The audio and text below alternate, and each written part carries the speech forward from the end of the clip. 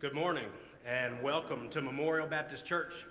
Uh, you're going to see some differences and hear some differences today, and that's because we had our sound system installed and we know what we're doing. we really do. We know what we're doing. We got microphones, we got people, we got you. What could go wrong? This is going to be great. I've got some announcements to start us off. Uh, the first, there's no youth tonight. Uh, I will uh, share with you we had 12 ladies come for our girls' lock in on Friday. A good time was had by all, and a lot of sleep was made up for yesterday. Today is our last lemonade on the lawn uh, for the year. We'll resume in May, so don't leave without a cookie. And y'all better drain all that lemonade because I don't have kids to give it to tonight. So keep coming back for more keep talking with each other. Wednesday night's Bible study continues as we go through the early church. Uh, and Todd's leading that for a few months, and uh, it's been uh, very successful with a good turnout so far. This coming Wednesday night, September the 6th, our first choir practice of the fall will kick off. That is at 7.30. Um, the week following that, on the 13th, Wednesday night programming, suppers, and shenanigans kick back off. If you would, hit the sign-up sheet in the back uh, so that we can take record of who's coming.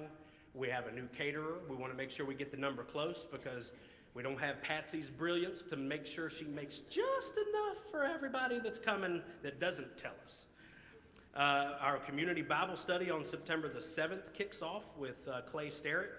That's Thursday morning from 10:30 to 11:30. There is a lot going on.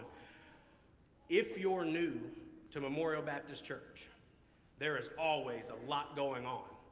But we don't always know that you're here as a visitor. So if you will look in the, the seat back in front of you, there is a uh, welcome card that we would like for you to fill out. You can set it in the offering plate in the back on your way out, and then we got you. and we want to get you. So let us know that you're, that you're here, that you're worshiping with us, and uh, let's start our service off with a word of prayer. Heavenly Father, I am so thankful for this day. I'm thankful that we get a few more weeks of warmth of your sun on our shoulder before we transition seasons. What a wonderful time to be here.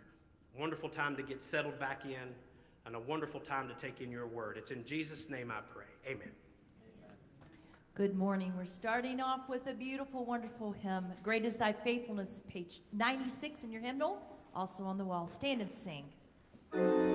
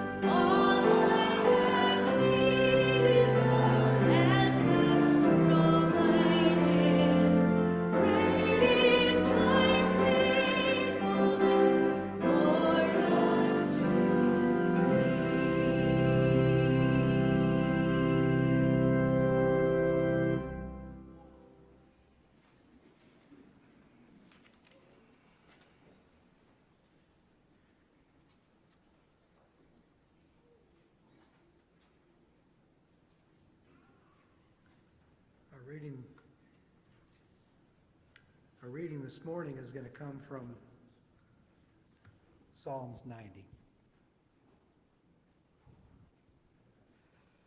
Lord, you have been our dwelling place in all generations. Before the mountains were born, or you gave birth to the earth and the world, even from everlasting to everlasting, you are God. You turn man back into dust and say, Return, O children of men.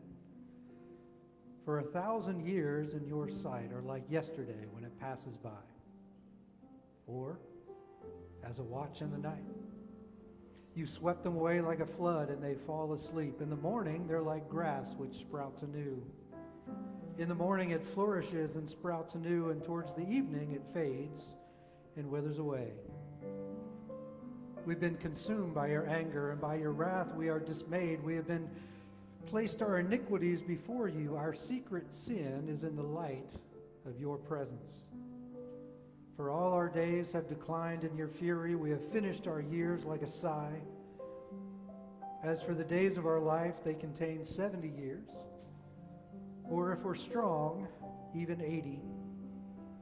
And yet their pride is but labor and sorrow, for soon it is gone and we fly away. Who understands the power of your anger, your fury, according to the fear that is due you?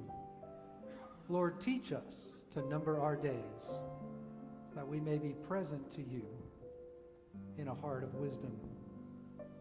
Do return, O Lord. How long will it be? Be sorry for your servants. Satisfy us in the morning with your loving kindness, that we may sing for joy and be glad all of our days. Make us glad according to the days you have afflicted us with. In the years that we have seen trouble, let your work appear to your servants and your majesty to their children. Let the favor of the Lord our God be upon us and confirm for us the work of our hands. Yes, Lord confirm the work of our hands. Blessed be the reading the Word of God. You stand as we sing, Graves into Gardens.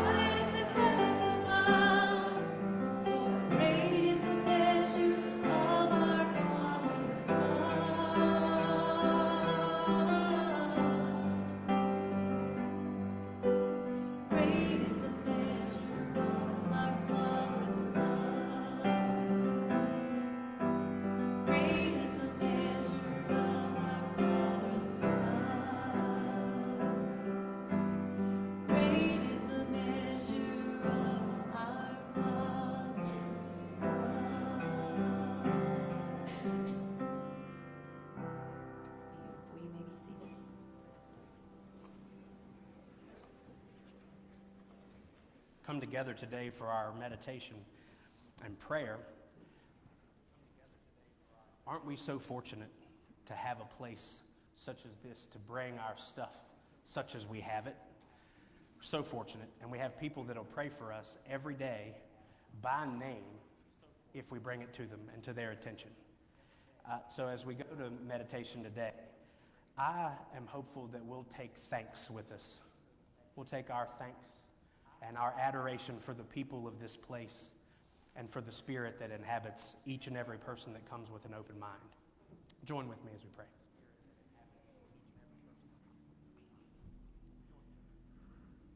Heavenly Father, I think about I think about your love and I think about your timing. And that for our good, the things that happen in our lives, very often good or bad, happen in your own time, in spite of what our own desires may be. Lord, I ask that this morning, in your time, each ear would tune into your message, that each ear would hear how wonderful the sacrifice, wonderful the sacrifice we've been given in your death on the cross for each and every one of our sins, that we turn to you. Lord, I ask that you would be with us and be with each speaker this morning. It's in Jesus' name that I pray.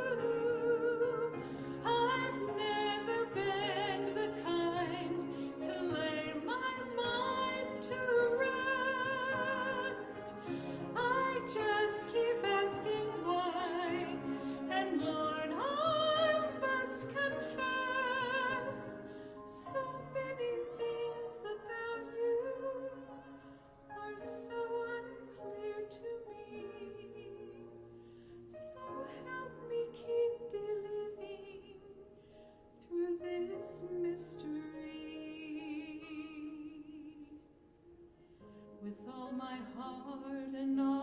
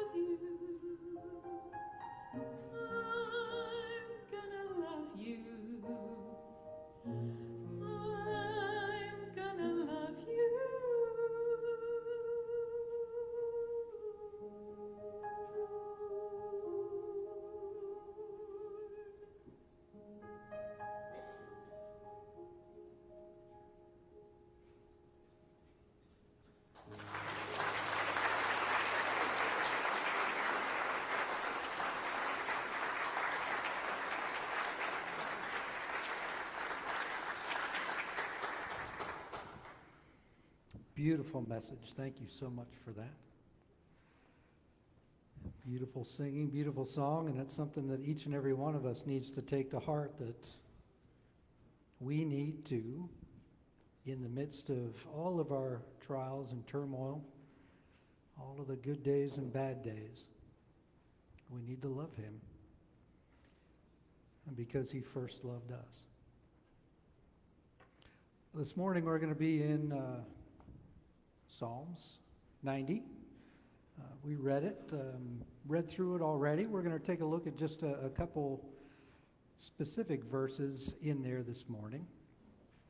But before we get started, let me tell you a story about a man who worked at a factory in a town. And one of his main jobs was to make sure that the whistle blew every day at 5 o'clock make sure that everybody knew it was time for them to wrap up and go home. And so every day as he walked to work, he passed a jewelry store, and in the uh, front display case of this jewelry store was a, a magnificent grandfather clock. And every morning he would stop and he would look at the clock and he would pull out his pocket watch and he would set his time and make sure that it was lined up and he would be on his way. And every day at 5 o'clock, the whistle would blow. Well, one morning as he was walking to work, the jewelry store owner happened to be out front. He was sweeping, cleaning up a little bit. And the man asked him, he said, You know, this is a magnificent clock. I love this clock. How do you keep time so well with this clock? And he said, Well, every day at 5 o'clock when the factory whistle blows, I come and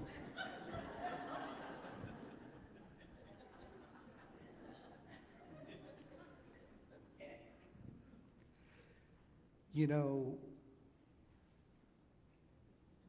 we live by the clock. Many of us do. Because time is important to each and every one of us. Benjamin Franklin said, Don't squander the time that you have, because it's the stuff that life is made of. And you know, we fight the clock habitually as a, as a way of life. We fight for more time. We stay up as late as we can. We try and squeeze in whatever shows we can. We try and do whatever. We sleep as late as we possibly can and turn off the alarm and turn off the alarm and turn off the alarm. I know some people that have four different alarms, five different alarms set because the first one isn't enough. And I'm going to tell a story on my wife because she's not here to defend herself. she sets an alarm on her phone.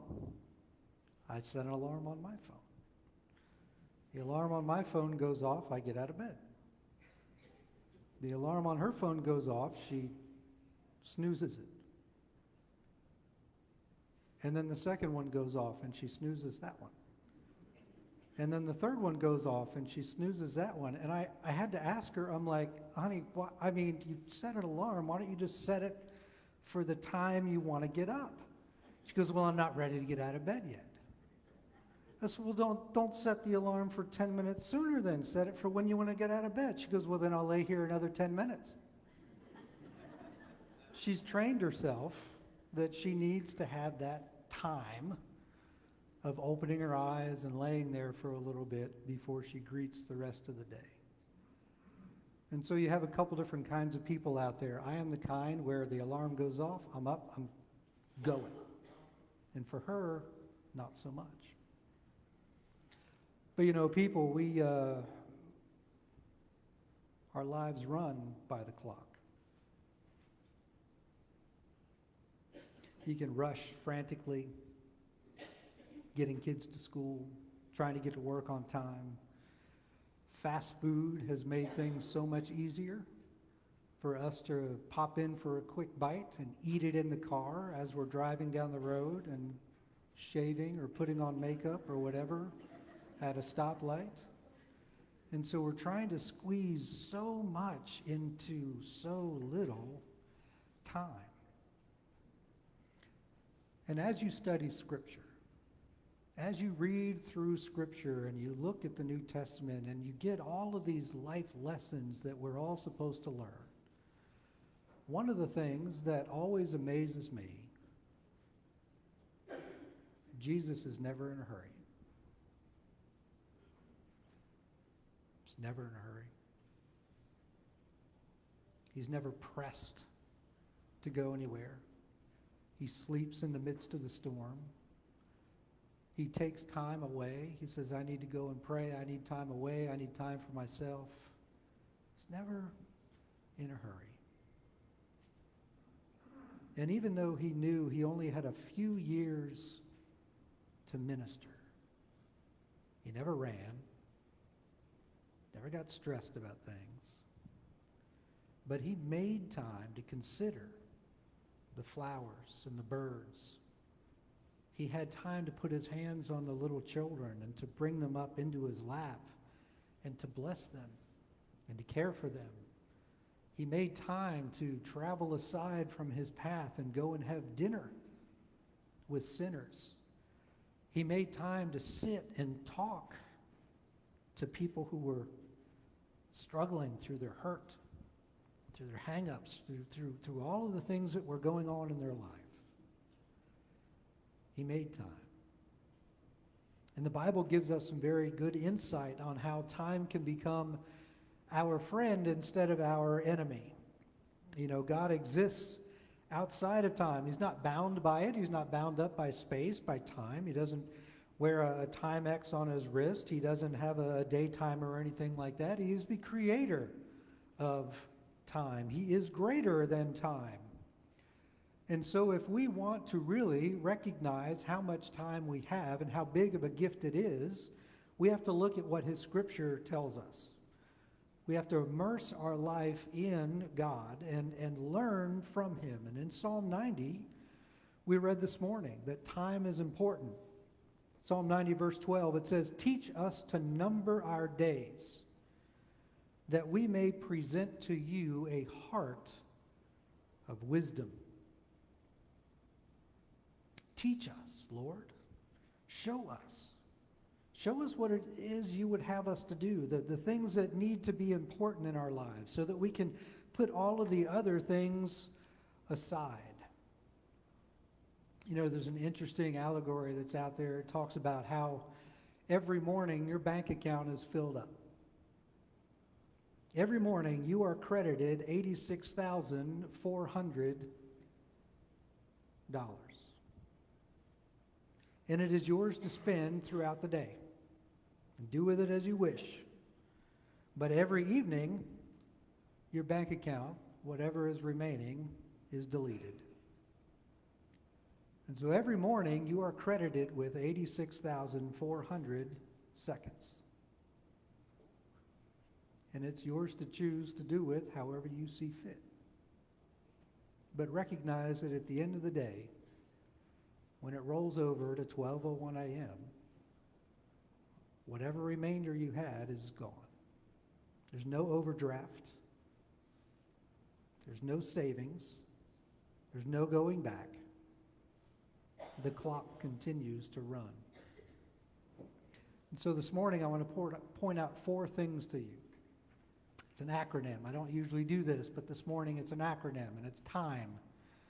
T I M E. And we'll talk about the four different things. You have treasure, invest, manage, and enjoy. Treasure your time, invest your time, manage your time well, and enjoy the time that you have. God says that we should treasure our time. It's a valuable commodity. He also tells us that we learn we need to learn how to number our days. Now there's a it's attributed to a writer named Marc Levy, but you never know. It, it it's out there on the internet, and so anybody could take uh, take credit for this. But there's a quote that goes like this If you want to realize the value of a year, talk to a student who failed a course. If you want to realize the value of a month, talk to a mother who gave birth to a premature child. You want to realize the value of a day, Talk to someone who was born on February 29th. How valuable is an hour? Talk to those two lovebirds who are just waiting to meet. How valuable is a minute? Ask the person who missed the train or missed the subway on their way to work that morning. How valuable was a second? I'll talk to the person who just narrowly missed a head on collision with another car. How valuable is a millisecond? Well, talk to that Olympic swimmer who didn't qualify, just barely. Time is valuable across the board. And we need to treasure every moment that we have every single moment that we have. Have you heard the expression that time is money? It's not. It's not true. Time is much more valuable than money. You can always make more money. It may be hard to do, it may take a lot of effort, it may take some ingenuity. You can make more money. But, folks, you will never make more time. It is impossible. It's non-renewable, it's non-transferable. You can't store it up, you can't slow it up. Anybody remember the singer uh, Jim Croce? I, I, was I was a strange child. I loved all kinds of indie. I, Jim Croce was I loved him when I was a kid. There was a song, "If I Could Save Time in a Bottle." First thing that I'd like to do is save every day till eternity passes away, so I could spend them with you, folks. You can't. You can't save time, but you can invest it. You can invest time in things. You can invest time in your future. You can invest time in your family. You can invest time in your church, in your community, or in your relationship with Christ. You can invest the time that you have been given, but you can't save it. I don't know if you're aware of this, but Jim Croce just a couple months after he wrote that song, tragically died in a plane crash. He didn't even realize that as he was writing that song, as he was recording it and singing it for everybody, his life was going to be demanded of him. And he didn't have any more time to save up to spend with his loved ones on this world. You know, we. Um, we like to think that we are saving time somehow. We've created all kinds of things to make it easier for us. Microwaves, microwave dinners. gotta love them. You gotta love it. You throw it in the microwave. You know what used to take 45 minutes in the oven now takes 45 seconds in the microwave. It's great. You can put things in the fridge, reheat it, pull it out, it's ready very, very quickly. You don't have to spend as much time in the kitchen, as much time cooking and preparing, as much time getting everything ready for yourself or for your family. So the question is what have you now done? What have we done with all of that extra time? Instead of 45 minutes in the kitchen, what have we done with the additional 44 minutes that we now have? One minute in the microwave and it's done. Wh- What, what have we done with the rest of the time? Have we invested it in anything? What have you used it for? Have you mowed the yard? Maybe you did laundry. Maybe you were spending time with your kids. Maybe you were doing something somewhere, or maybe Facebook got a hold of you. And you were scrolling, scrolling, scrolling. Maybe you got tied up in the stories that you saw there. Maybe you just started surfing the internet. Maybe you were reading the latest news report that you really don't want to read. What did you do with the time that you had? Where did you invest it? You know, where we invest our time says something about us. There's 168 golden hours each week. The average person sleeps for about 50 of those. 50 to 56 hours a week you sleep. That's a third of your time. About 24 hours of those are eating or personal hygiene. And about 50 of those hours are working or traveling to and from work.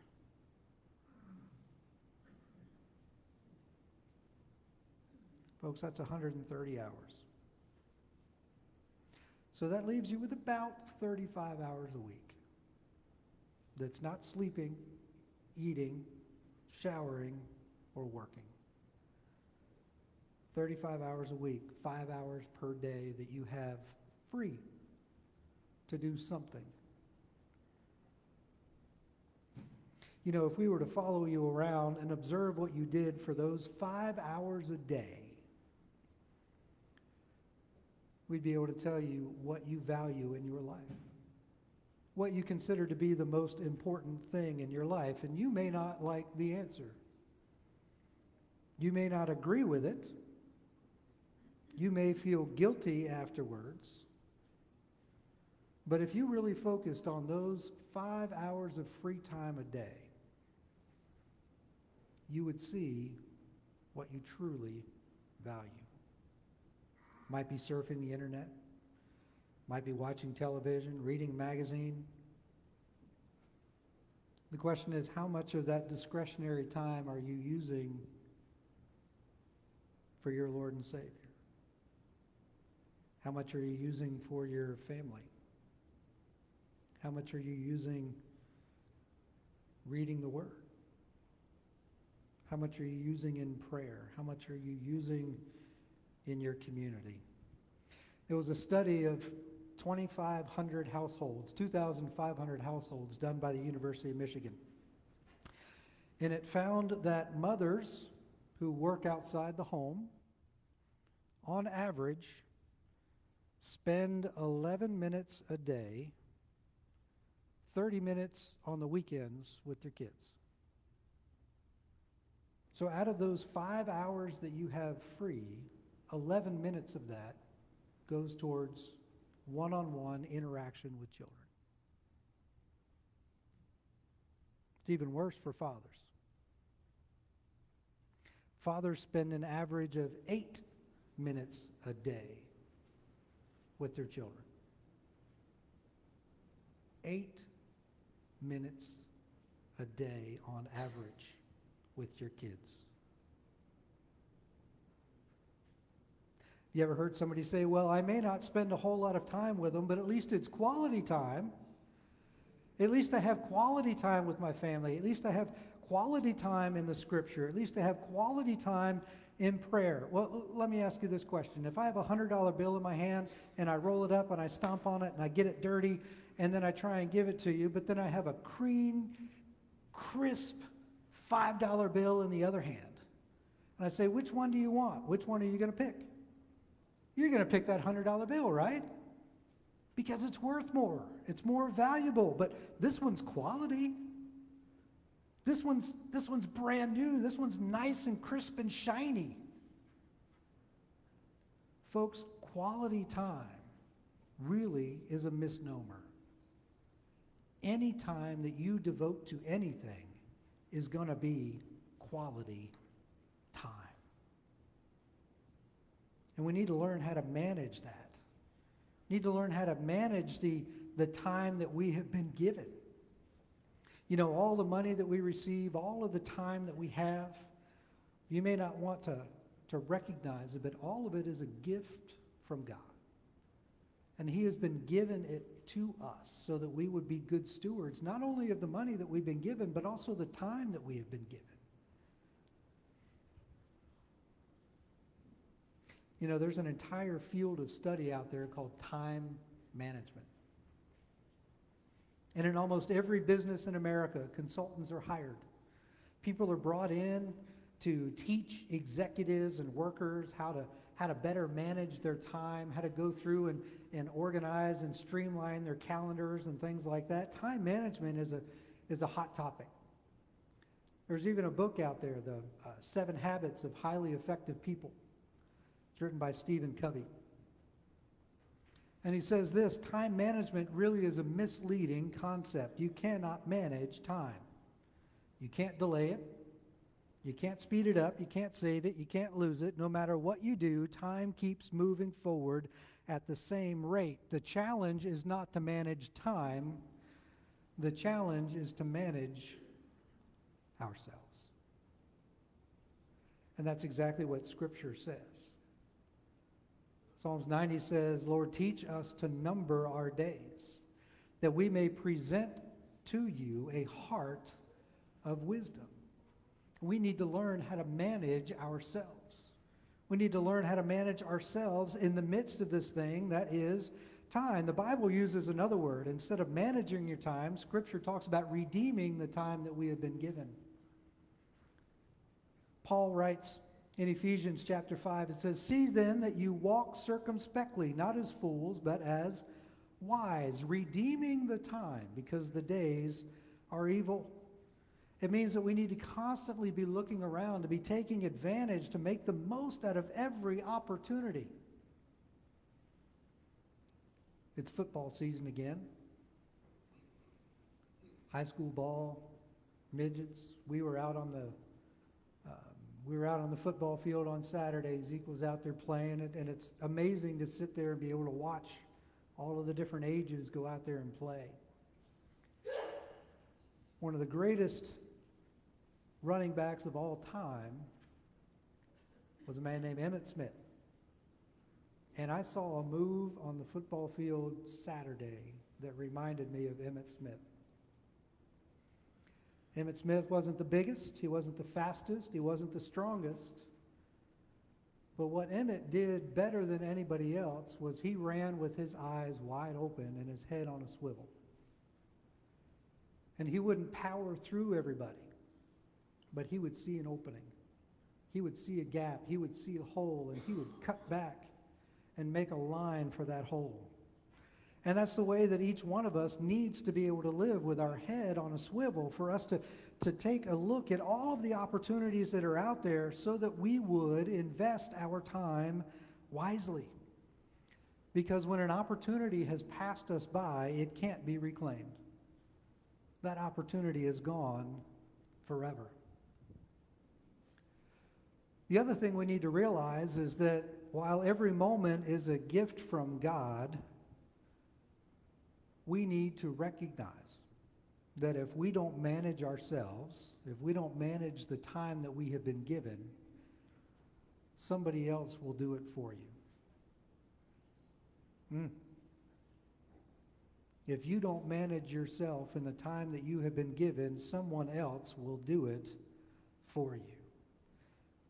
You need to think about where you're going to spend it, where you're going to invest it.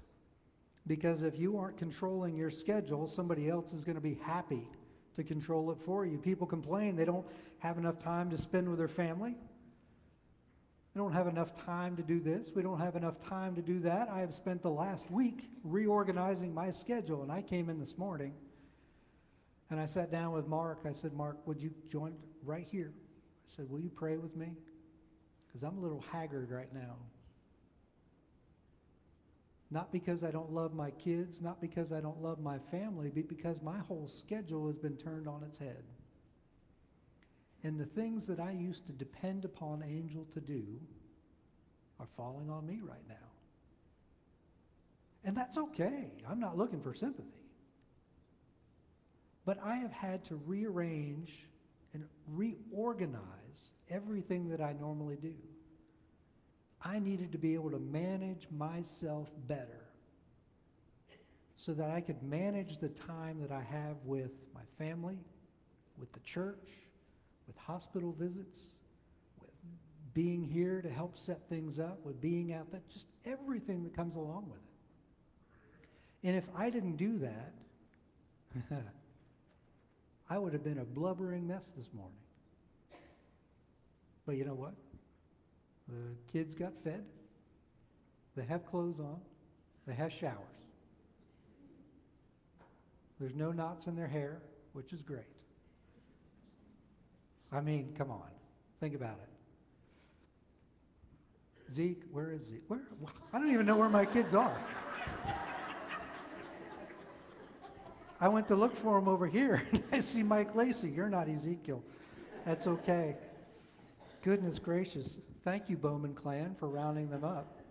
Mm. I didn't even know where they were. Oh, heaven help me. But you know what? they were here, and this is a safe place, and this is family. And so when they're here, I trust. I trust that if I'm not taking care of them, at least someone in the community will. And set them aside and pull them aside and say, hey, come here, you come sit with us today. But you know what? If you don't manage your time, somebody else is going to manage it for you. And the last thing I want to say is this enjoy your time. Enjoy the time that you've been given. Say no to those things that rob your time of you. There's always going to be something else you can do, there's always going to be somewhere else you can be. But if you're going to make spending time a priority, figure out where you're going to invest it. Say yes to those things that are going to be important in your life, in the life of your family, in the future, in the life of your relationship with your Lord and Savior. I'm going to leave you with this. When you say yes to something, realize that you have already said no to everything else. So make sure what you're saying yes to is the right thing. Join me as we pray and we transition to our time of communion. Heavenly Father, there are a lot of people out there that are running around with their hair on fire. And Lord, I pray that as we look forward to this time of the Lord's Supper, of communion, of being a family, and remembering what it is you've done for us, Lord, I pray that we would take the time that has been offered to us to rest in your goodness, in your mercy, that we would find peace in you. And that, Lord, as we search our hearts and search our actions, search our minds and our thoughts, Lord, that you would bring to the forefront and reveal to us those things that are just not of you. Lord, you would allow us to recall those opportunities, those times where we have sinned against our brother, our sister where we have sinned against you, where we have fallen short. Lord, I pray that over these next few minutes that we would ask for your forgiveness. That we would seek your face. And that we would just desire overwhelmingly to be made more and more like you daily. Lord, we love you and we thank you. It's in your precious and holy name we pray. Amen. If we could have our deacons prepare the table.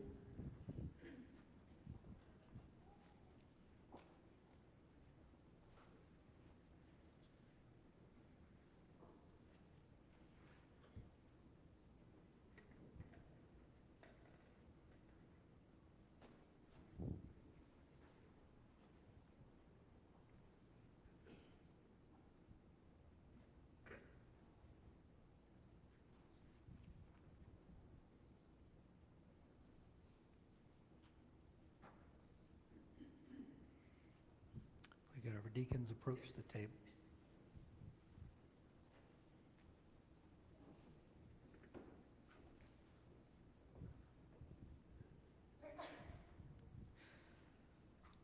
This morning, as we enter into this time of communion, I want to let you know a few things. We're going to be passing the plate for you this morning. And what I'd like for you to do is hang on to that element, that body, that blood, a representation of Christ. Hold on to it until we can all partake together. The other thing that I'd like for you to know is that um, if you have any sort of allergy, this is all allergen free. You are free to partake. If you are a believer in Christ, if you're a baptized believer in Christ, we invite you to join with us as we participate in open communion this morning.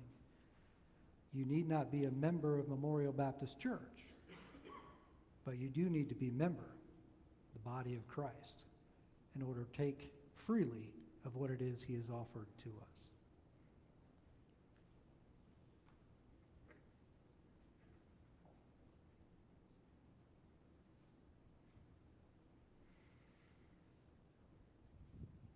Heavenly Father, again, we find ourselves at the table. We find ourselves standing before the representations of your body and your blood. And Lord, I pray that as we pass this out to the family, to the congregation, to those who are gathered here, Lord, that we would each in our own way uh, seek your face and your truth. Lord, Scripture tells us that we should not partake unworthily. And so, Lord, I pray that over the next few minutes, that each one of us would repent of those sins that are in our life, that we would be able to come to this table with a clean heart, clean conscience, knowing that we are living our lives for you and you alone. Lord, it's in your precious name we pray.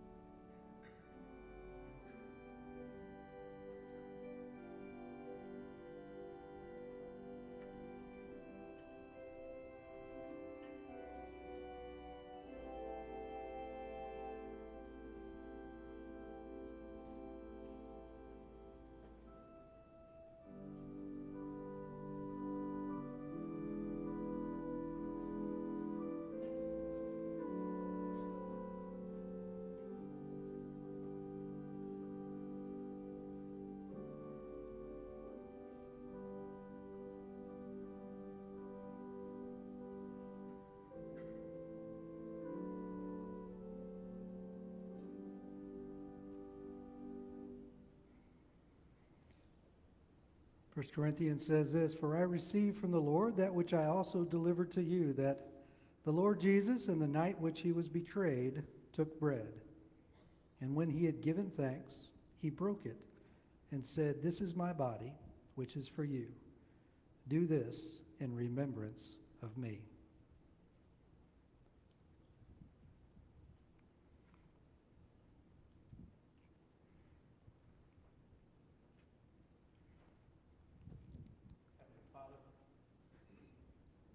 The blood that you poured out for us willingly separates us from what a mere person would do to the divine.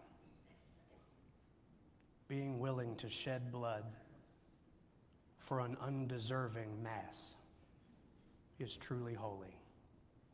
Lord, I ask that as we partake of this cup, we would do the remembrance justice in recognition that your blood spilt for each of us undeservedly. In Jesus' name,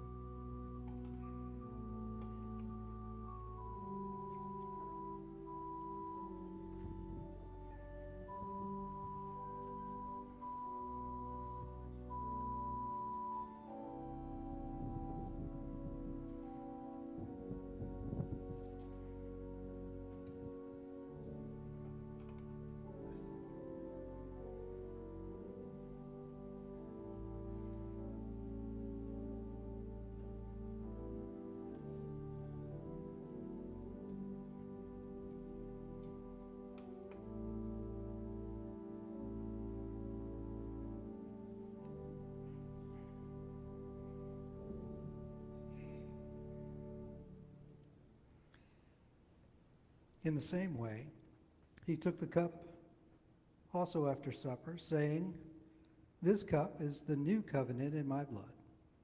Do this as often as you drink it in remembrance of me.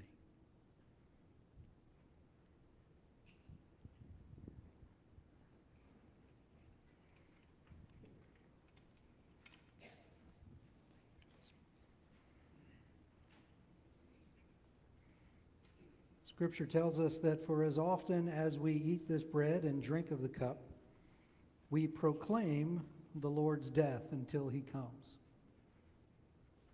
Communion, Lord's Supper, Eucharist, whatever name that you would like to call it, is a proclamation of Christ living for us, dying on the cross for our sins, his burial and his resurrection. It is a promise of eternal life. And so when we participate, we're doing so.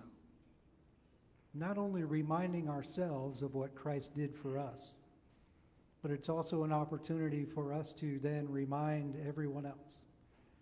Because when you leave this place this morning, when you go out of here, hopefully you have thought about time about how to manage yourselves in the midst of time. But more than that, as we approach the table this morning, you thought about those things that are in your life that need to get chipped away, need to get remolded, that need to look more like Christ. And so as you leave this place, you're going to shine that much brighter. You're going to walk that much taller. Your speech is going to be that much cleaner. And your actions to the people around you are just going to be that much more glorious because Christ is the one who lives in each and every one of us. So, what we are going to do, we are going to sing a song and then we are going to go out from there. Why don't you stand, grab the hand of the person next to you as we sing, and we're glad that we are a part of the family of God.